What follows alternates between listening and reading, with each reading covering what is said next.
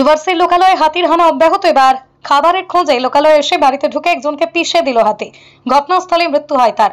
মৃতের নাম মাংরি ওড়াও বয়স পঞ্চাশ। ঘটনায় রীতিমতো আতঙ্কের পরিবেশ তৈরি হয়েছে ডুভার্সের মেটেলি ব্লকের চালসা সংলগ্ন মহাবাড়ি বস্তি এলাকায়। জানা গেছে, বৃহস্পতিবার রাত প্রায় বারো নাগাদ পার্শ্ববর্তী পাঞ্জরা জঙ্গল থেকে একটি বুনো হাতি বের হয়ে মহাবাড়ি বস্তি এলাকায় ঢুকে পড়ে। গভীর রাত তাই নিদ্রায় মগ্ন ছিলেন মাংরি ওড়াও সে সময় হাতিটি ঘর ভাঙা শুরু করে। পরবর্তীকালে তিনি জানতে পারলে বেরিয়ে এলে হাতিটি সেখান থেকে ফের জঙ্গলে চলে যায় বাইরে বের হওয়ার চেষ্টা করলে হাতিটি ধরে ফেলে তাকে পুলিশ এবং খুনিয়া স্কোয়াডের বনকর্মীরা দেহ উদ্ধার করে শুক্রবার দেহ ময়নাতদন্তের জন্য পাঠিয়েছে উল্লেখ্য এর আগেও এই এলাকায় হাতির হানায় বহু ঘরবাড়ি যেমন ভেঙেছে তেমনি প্রাণহানিরও ঘটনা ঘটেছে साढ़े बारह को हुआ था अच्छा वो मेरा फूफू था अब तो हाथी आया हम्म। तो उसको मार दिया तो फिलहाल वो वो हम लोग का काम करके खिलाता था हम्म। तो ऐसे ही बर्तन वर्तन बन के खिलाता था मेरा माँ भी वैसा ही करता है। तो रात को क्या सोया था उधर रात को? हाँ वो वही रूम पे? सोया था। अच्छा। तो सोया था तो से आया और उधर हथकने लगा तो उधर से दरवाज़ा खोल के भाग गया था। उस टाइम में पकड़ के उसको मार दिया। अच्छा, अच्छा, अच्छा। कितना रात का ये घटना? रात ही बारह साढ़े बारह को। आपका कौन लगता है? वो मेरा फूफू लगता है। फूफू वैसे ही नाम क्या है आपका? मेरा नाम प्रमित उराव है। आपका फूफू का नाम क्या है? मंगरी उराव। उम्र कितना होगा?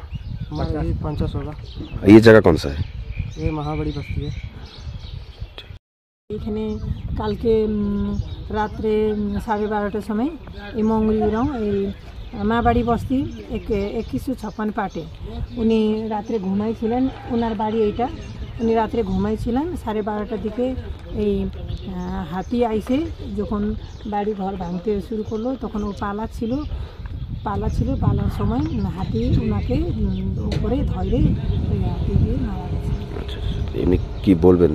এখন তো আসলেন আপনি এখানে দেখলেন।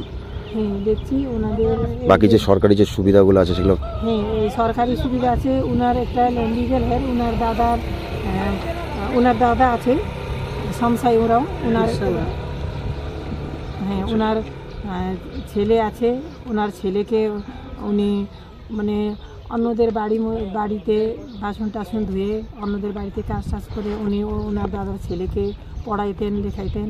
এমনি কথা বলছেন যাতে সরকারি সুবিধা পাওয়া যায় খুব তাড়াতাড়ি? হ্যাঁ। হ্যাঁ আমি ওইটাই চাই এই ফরেস্ট ডিপার্টমেন্ট এই থেকে কি ওনাদের ওনাদের যে পাওয়া ও আছে উনি পাক তারপরে ওনার যে ছেলে মানে দাদার ছেলে কিন্তু উনি নিজের ছেলে মতন করে ও করছিল। আচ্ছা। ওনার জন্য একটা কিছু মানে চাকরি হোক ও হোক পাওয়া যাক আমি এটাই চাই। ধন্যবাদ।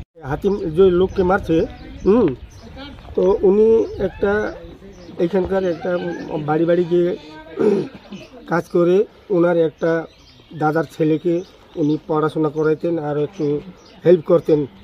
তো আজকে এখন উনি তো অপরাধ রাত্রে সাড়ে বারো বাজে হাতি আসছে, ঘর ভাঙছে, বাইরে হলেন হাতি মেরে দিল। তো আমরা চাই সর্বপ্রথম ওনাকে খরচ থেকে যা হেল্প পাওয়া আছে পাও। তারপরে ওনার একটা যে ওনার যে যে ওনাকে পুষতে ছিলেন, ওই ছেলেটাকে তো কোনো চাকরি ব্যবস্থা হইলে সব থেকে ভালো হয় এটা।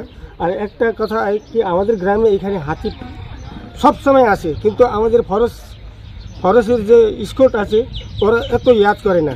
আচ্ছা তারপরে আর একটা কথা, আমাদের এখানে হাইম্যাক্স একটা একটা ইয়া দুইটা লাইট এখানে দিলে আমাদের গ্রামে অনেকটা আ- আপনি তো নিজেই জেএফএমসি কমিটির সভাপতি তো এই বিষয় নিয়ে আপনি এর আগে কথা বলেননি কোনো সময়? না কোনো সময় আমরা বলছি কয়েকবার কিন্তু সব সময় এসব কথা শুনে না ওরা। লাগাতার দেখা যায় যে আপনার এই এলাকায় স্কুল ভেঙে দিচ্ছে হাতি এসে। তো এই সব বিষয়ে কি আপনারা কোনো রকম স্টেপ নেননি? না না বারে বারে বলি আমরা। আর তারপরে যারা যারা বাড়ি ভাঙে তাদের জন্য কম্পেনসেশন আমরা লিখাই দিই। বেচারাদেরকে কষ্ট করে কোথায় সব কি বনভূমি আহ, কর্মী, সহকর্মী, ওদের কাছে যাইতেও টাইম লাগে। কোনো ধরেন যে বারাডিগিতে একটা আমাদের ফরেস্ট একটা বন বিভাগ কর্মী আছেন।